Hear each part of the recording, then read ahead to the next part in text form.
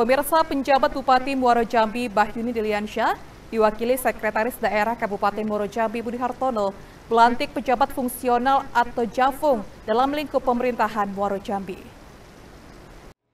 Bertempat di Aula Rumah Dinas Bupati Muaro Jambi, penjabat Bupati Muaro Jambi Bahyuni Diliansyah diwakili Sekretaris Daerah Kabupaten Muaro Jambi Budi Hartono melantik pejabat fungsional atau JAFUNG dalam lingkup pemerintahan Muaro Jambi. Dalam pelantikan pejabat fungsional oleh Sekretaris Daerah Muaro Jambi, terdiri dari jabatan fungsional tenaga didik dan tenaga kesehatan yang bertugas di pemerintahan Kabupaten Muaro Jambi. Dalam sambutannya, Sekretaris Daerah Muaro Jambi Budi Hartono menyampaikan dirinya mewakili penjabat Bupati Muaro Jambi Bahyuni berpesan kepada aparatur sipil negara yang dilantik dapat bekerja dengan baik dan seefisien mungkin, sehingga dapat menciptakan ide-ide kreatif demi mewujudkan Muaro Jambi bergerak mantap.